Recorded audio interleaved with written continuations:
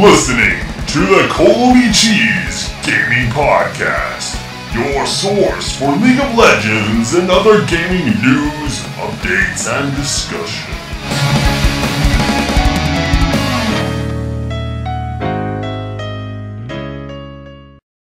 Hey, what's up, guys? This is Colby Cheese, and you're listening to podcast number 14. It is June 24th, 2011, and man, oh man, what a week! What a week!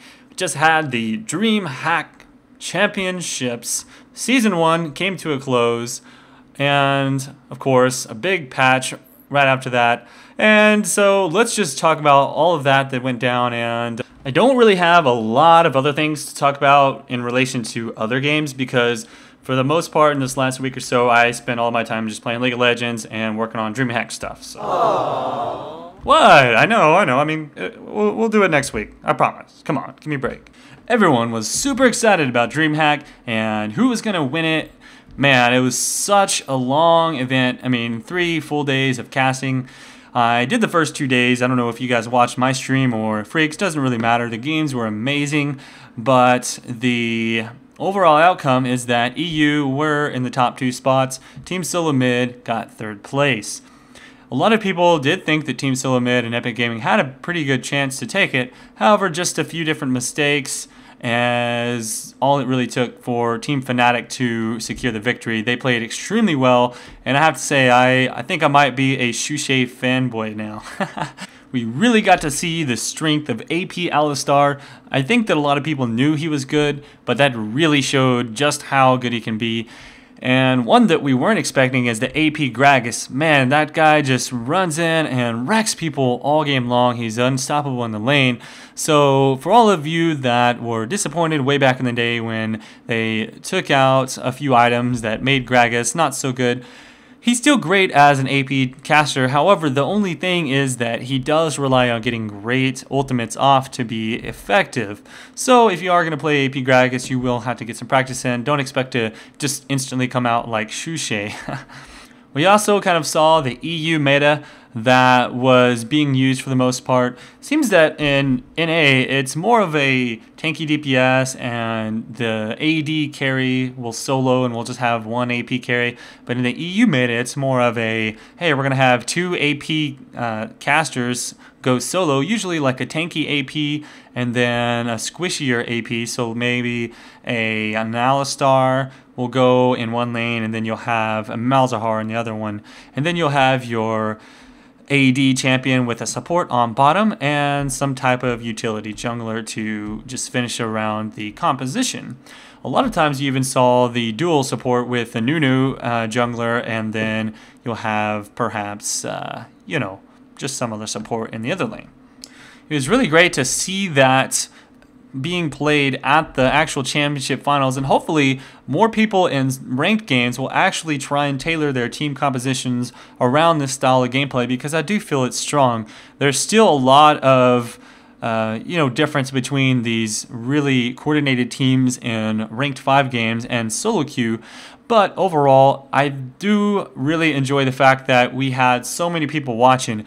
My goodness, there was over 200,000 people at a time watching these streams, and I'm guessing somewhere over a million were watching each day uh, as a total. That is pretty huge, and I think it actually broke all records of any esports event that has ever taken place, save for an actual um, nationwide broadcast in Korea of StarCraft. I think they had like a million people watching, but that was actually a TV station broadcasting that, and we all know that Korea is really big on StarCraft, so it doesn't count. So far, for the for the biggest live casted event, League of Legends is definitely the one that takes the cake. So what does this mean? Uh, pretty much that now League of Legends is definitely seen as the number one esports game in the world at this point. It's actually the second largest game in North America behind World of Warcraft, for those of you who didn't know. This should draw a whole lot more attention to other people in other leagues, such as MLG. I'm pretty sure that they have no other choice but to pick up League of Legends at this point. They were talking about picking up uh, some type of MOBA, whether it be HoN or Dota 2 when it comes out or League of Legends. But at this point, I don't think that there's any other choice out there but League of Legends, seeing as we are the most fun game to watch and play. That's opinion, of course, but I don't care. My opinion's right. For those of you who want to see just a couple of highlights from the games, uh, one of my fans actually did send me a video that they had done with a couple of highlights from different kills and things like that in the in the champ champions. And I actually saw a lot of clips from Sushi, so that was kind of interesting to me. You guys can check it out here. It's not the highest quality, but uh, it is kind of neat to go back and watch that. Especially if you did watch it, you can kind of relive some of those really epic moments. I also thought it was awesome to see what some of the top players look like in person and rather than, you know, just hearing their voices on streams and whatnot. Obviously, I knew what kind of Hotshot GG looked like and some of the other guys, but it was kind of cool to see all them all there on the on the screens and uh, up there in person and, and doing the interviews with uh, with them afterwards was was a, just a lot of fun. And I, and I thought the event was really well done by Riot. They did a great job with all of the camera work and all of the uh, transitions and editing and all that good stuff. The observer mode looked really great. It was fantastic, and I have to give them props. The only thing that I would like to actually see in the future would be possibly some type of counter that showed which teams had like the like how many dragons blue team has, or maybe even the timers on different uh, buffs so that the commentators can actually talk about that. So they can say oh hey it looks like the dragon's going to be coming up in a minute now so we'll see if the teams are going to get in place for that. You know just something like that. That would be cool to actually have that as a display. So hopefully someone from riot hears this. I don't know if anyone from riot actually watches my stuff but whatever. Probably not because i think that they did a newsletter for um, for the DreamHack qualifiers, and they showed all like the fan sites and stuff. And I'm pretty sure I wasn't on there. I saw like League Top 10 and a couple of other smaller websites, but they didn't mention me, so hmm, maybe not. I don't know. I have to thank all of the fans so far for. Uh, I know I had spoken in some of my previous league short clips and in my last podcast about sending me clips. And uh, so a lot of people have been sending me some stuff to look at. And I do plan to get around to editing some of those and putting some of them up later. I haven't done it yet, but I will definitely get to it. Also, I would like to make a request though. Some of you have been sending, sending them to my to my YouTube inbox, and I would have to request that you please send them to Colby at colbycheese.com. That's where you should be sending all of your emails, or clip request or whatever because it's a lot harder for me to go through. I can't actually star or put certain items in folders if you send it, and I get lots of messages on YouTube. So please, please, please send your clips to Colby at colbycheese.com, not to my YouTube inbox. Thank you. But speaking of really cool clips, hey, check this one out. I actually found this video these guys did a uh, clip where they actually took down the middle tower at about one minute into the game, bought a ton of wards, and they all just went there and took down the tower. It was super hilarious. I definitely would want to try that sometime if I was with a bunch of friends of mine. Good stuff. Props to you guys. All right, so let's talk about some of the patch notes, man. This was a pretty big patch that just came out, and they made a lot of really neat changes, and I'd like to go over those. First of all, the new champion Yorick. Man, Tisk, Tisk, Tisk. I am super disappointed in this one. I was expecting a lot more, and I definitely didn't get it. I I did spend some RP on him, that's because I didn't have enough IP. Not really a big deal. I did want to bring you guys that video that I did. Oh yes, I did do a uh, a little first impressions of Yorick, so you can watch that. You can click on the little link here, or it's in the description down below. But overall, I think that the champion's pretty weak and not worth buying. So that's kind of the, the short, in a nutshell version for you. Moving on to some more interesting news, however, in the patch notes, they did quite a few changes to shields. So in other uh, in other patches previously, or up until now, you could have a champion that would put a shield on you, and if you have some type of lifesteal effect, then you can't actually life leech off of that shield. Also, it won't break things like the mobility boots and a couple of other things like that. And they changed all of that, so you can now uh, shields are treated just like HP and and things like that. So that's kind of cool.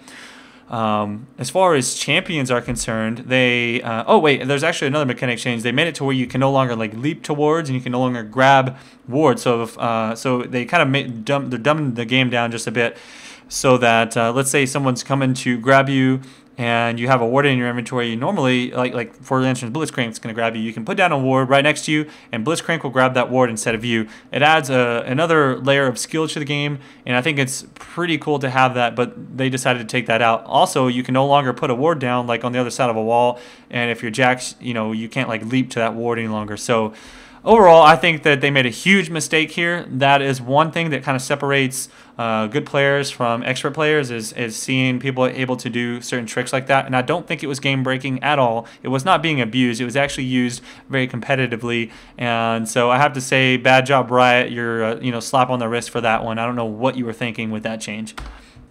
Man, oh man, they just completely destroyed Evelynn this patch. And that's fine. I don't like Eve. She's really annoying to play against, and I think that they kind of made the right decision. I mean, they, they pretty much deleted this champion from the game, but at the same time, I can think of other champions that are kind of useless as well. So, whatever. They just kind of took out the aspect of being able to stun people.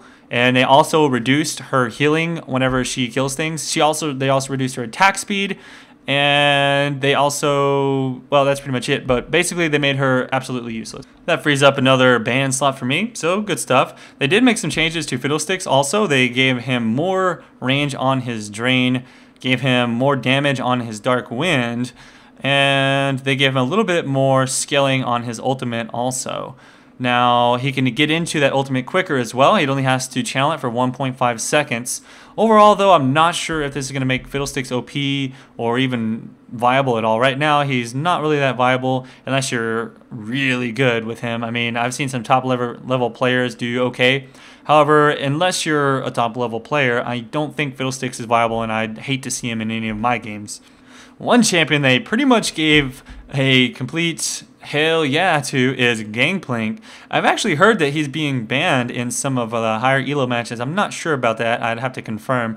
But I did try him out, and holy crap, man. He's apparently super sick jungle mode now. He's the only AD carry that can jungle at this point. And uh, so what I'm thinking is that the difference in him and other junglers is that other junglers are kind of like more tanky and support related, but now you can have like an AD carry in the bottom lane, and Gangplank can get decent amount of farm in the jungle. He gets extra gold from killing things with his Q ability, so he's going to get great gold from the jungle. And then what they did was they added a slow, which stacks onto not only his auto attacks, but his Q now applies his passive as well, which is going to do ticking damage even more. They add, they up the damage, and he's going to slow, so he can come out of the jungle with a red buff and do tons of slow to people. So he's got great ganks, and then he's got a global ability, so he can be like hidden away in the jungle somewhere and run up with his ultimate, and that's just amazing overall.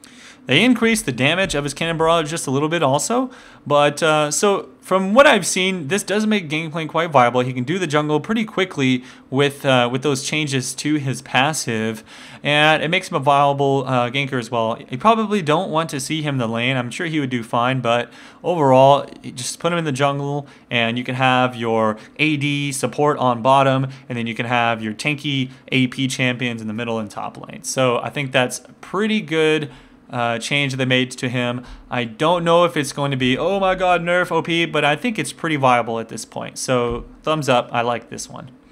Bit of a tweak to Kassadin, which I haven't been able to test out or see for myself. They actually gave him damage, like they changed his passive. Instead of giving him armor penetration, they gave him bonus magic damage with a 0.15 ability power, uh, excuse me, scaling, on his auto attack. So he'll at max rank he'll do an extra six an extra 60 damage and then whatever AP ratio have. So you probably have like maybe an extra 90 damage at uh, you know at around mid game if you have that or late game if you have that uh, built up. So I don't know. It sounds like it could be good, but I'm not sure. We'll have to wait and see. Vayne and Rumble were toned down just a little bit. Rumble doesn't have quite the amount of damage on his ultimate anymore, and they even increased the cooldown. So I'm not sure if we're still going to see Rumbles in every game. Uh, I know he was a big ban in Europe for a while. Not so much in North America. He wasn't that popular just yet, but he was getting there. I was starting to see more Rumbles in the games.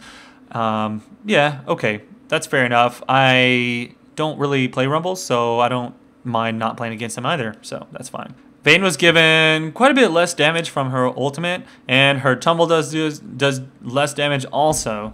Not only that, but she gets a lot less move speed from her ultimate. It only gives uh, triple move speed rather than quadruple when chasing people. So, you know, I'm not quite sure if this is going to make her completely useless or not. I've seen some Vaynes and they did decent. I laned against a Vayne with Kayle, which I had thought that the patch had gone through on her, but apparently they had already reverted, and I whipped the crap out of her and ended up carrying the game. Maybe I'll put that game up later as well. we'll have to wait and see. But uh, overall, I think that Vayne is uh, tweaked down a decent amount, and that's good. I hope they don't change her any further because uh, I do think that she's. Uh, she's definitely great in the in the later game, but if they nerf her anymore, she's going to be really not so good. Now, I just mentioned Kayle. This is a huge thing for me, and Kayle was definitely my main back in the day, and one of my favorite, probably is my favorite champion. It's just that uh, she does have some issues early on.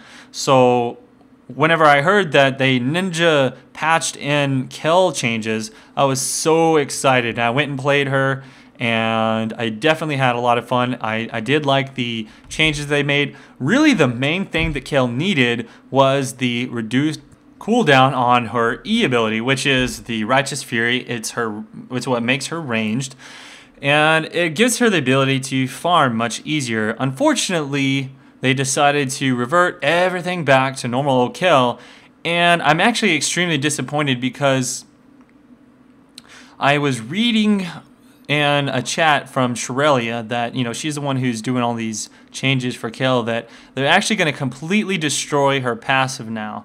So just so you know, the passive gives her 30% more ability power on um, based on her AD, or I guess 30% of her ability power is converted to attack damage, and then like 20% of her attack damage is converted to ability power.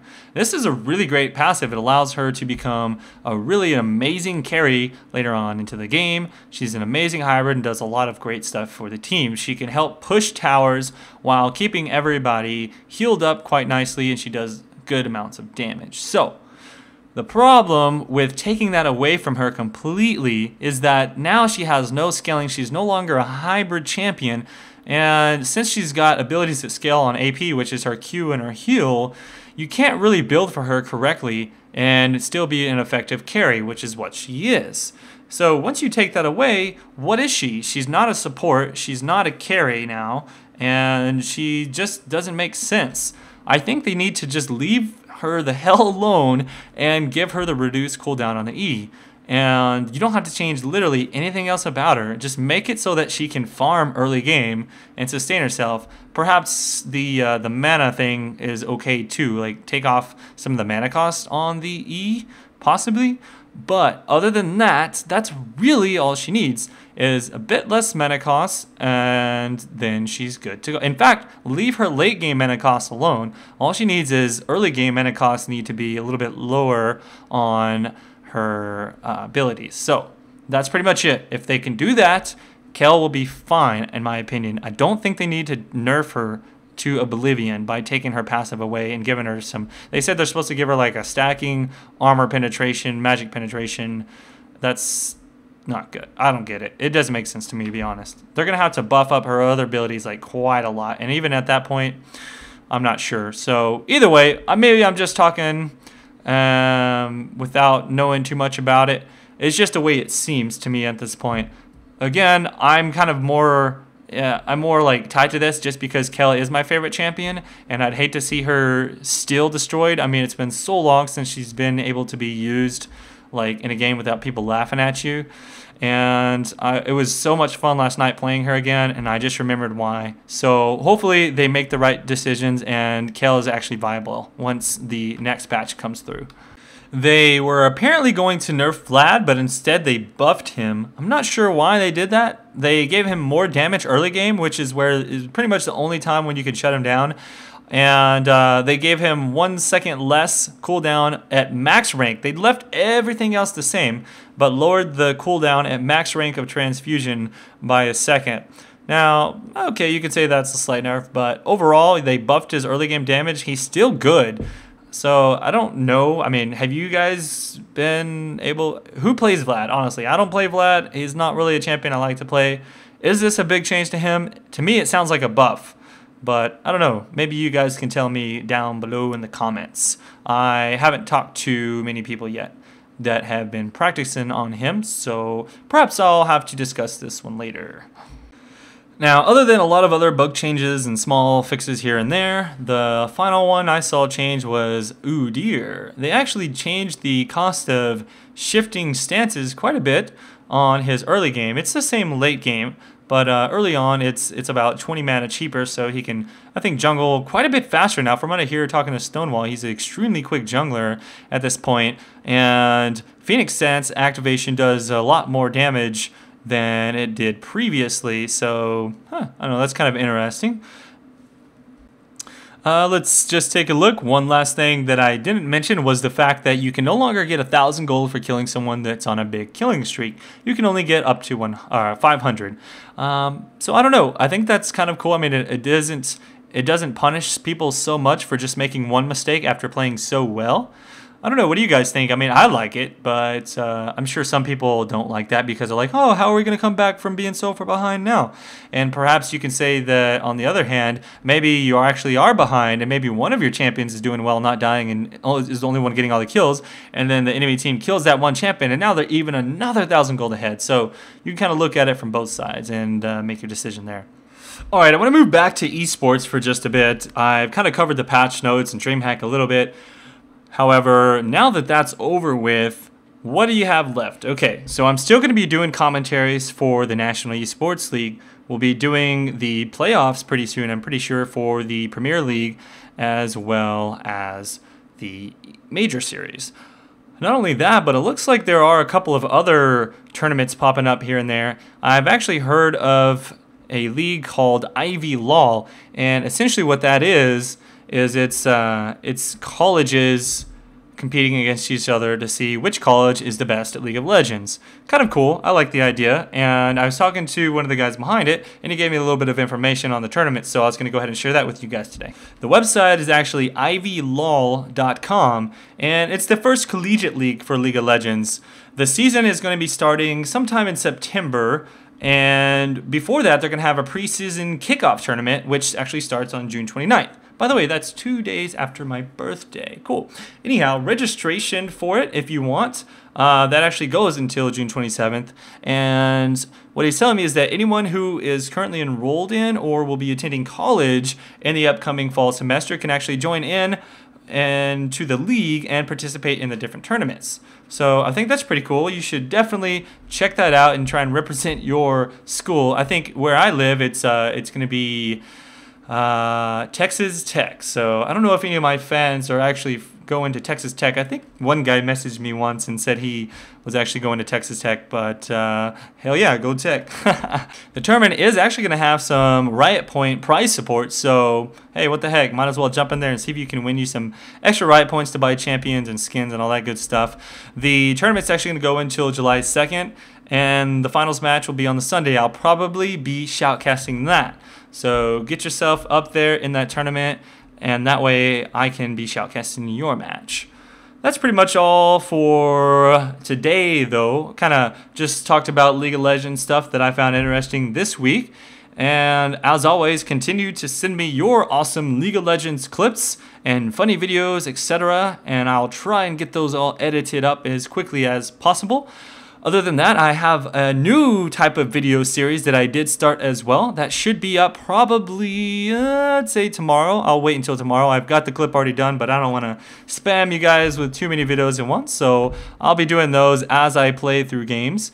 Other than that, let's see. Oh, for those of you who didn't know, once again, I am doing game reviews for onrpg.com. So be sure to check those out on their YouTube, or you can just check it out from my website. I'm obviously going to put up the links there for you to watch.